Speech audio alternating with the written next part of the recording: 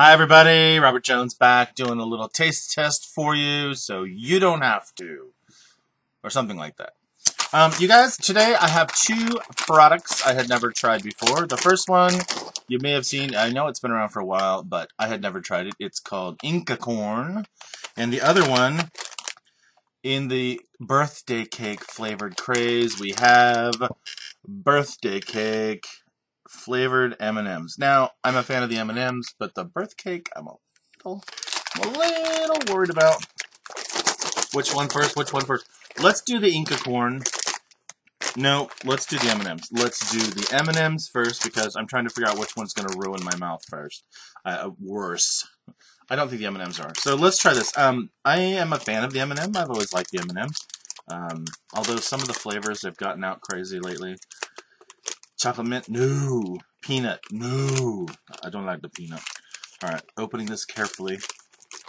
Um, let's, oh, let's give you some info here first. Let's see, we have... Milk chocolate with sugar, chocolate skim milk, cocoa butter, lactose, milk fat, soy less than salt, artificial flavors, sugar, cornstarch less than 1%, corn dextrin, coloring using number 1, lake, red, 40, yellow, 5, blue, 1, red, 40, lake, yellow, 5, lake, yellow, 6, yellow, 6, lake, blue, 2, blue, 2, lake, artificial and natural flavors, gum, acacia, may contain almonds, wheat, and peanuts for those with allergies. I'm tired just from reading the ingredients on that. Probably want to know some calories. One pack is approximately 198 calories. All right, let's give it a let's give it a flavor flav.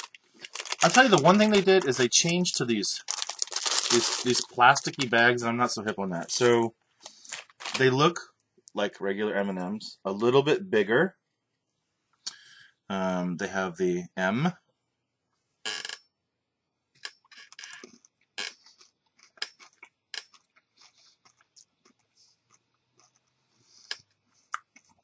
Oh, there it is. okay, that's funny flavor. I think it's kind of funny because the sizes of the ones are different. Can you see the yellow one is so much larger, which is weird because usually M&Ms are all the same shape and size. I wanted to crack it in half and see if there's anything. So it just looks like a regular M&M on the inside. Focus, focus. Okay, So first thing is, I like the size of these. They're bigger.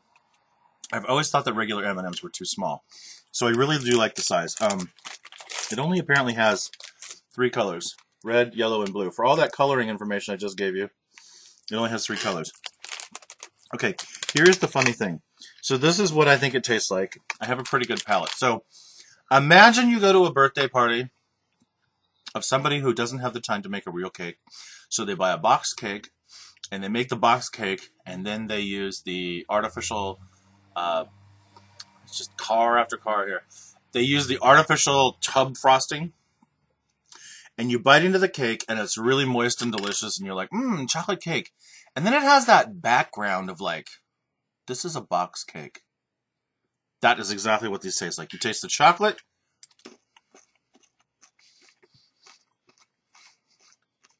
And then all of a sudden, Boom, box cake. It hits you. These are not bad. I don't know how long these are going to be around. Um, I'm reading the package here. It doesn't say. All it has is the little, the little M&M dude with a slice of cake. You guys see that? It's kind of funny. Um, these are pretty good. I actually I like the size. I like that they're bigger, and I like the flavor. So I would give these a thumbs up. I'd give these um, an eight out of ten if they're on the regular M&M scale, you know, they're a 10 out of 10. But as a candy product, I think they're pretty good. I really like the size improvement. I don't know why that's so impressive to me. All right. Let's try the Inka corn. Inka corn. So I was reading this earlier. I thought this was pretty funny. It says, now you can reward yourself with the same imperial, capitalized, imperial snack that the Inca rulers used to reward their heroes. The real giant white Inka corn registered trademark. Only the largest, finest kernels are used in preparing and roasting Inka corn, trademark.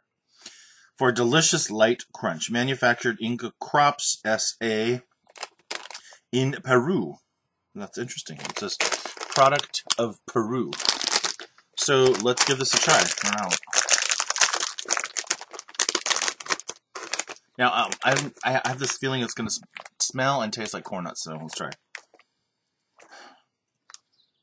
It is not as strong as corn nuts if you've had corn nuts. So here's a piece of the corn. It is quite large. You can see it's as big as my head. Mmm. Mmm. This is good. I will say this right off the bat. I would totally eat this again. Big corn. Mm-hmm. It's good. I just noticed here it says all natural, zero trans fat, and gluten free. So there you go. This is good. I like corn nuts too. Corn nuts always has a little bit of a rancid flavor to me. To me, it always tastes like a, the oil needs to be changed or something. These taste very fresh. They're in the. There's just in this packet. Um, the kernels are very lightly yellow, and I think this is kind of like what corn nut wants to be. These are better than corn nuts. Of a snack, I'd probably give these a nine. A nine. Um, the only reason is they're a tiny bit greasy, and I think they need a little bit more salt, but that's just my personal taste. I would totally buy these again, and um, I would buy them over corn nuts because they're bigger and they're lighter. You hear that? And they don't feel like they want to break my teeth. So, all right. So Inka corn and birthday birthday cake M&Ms. Um, we have two winners here. I like both of these. I would definitely buy both of these. Ooh, I might mix them together, make my own little trail mix. So, all right, you guys, give me a try. Give me a thumbs up if you like the video, and of course, subscribe. Thanks, you guys. Have a good one. Bye.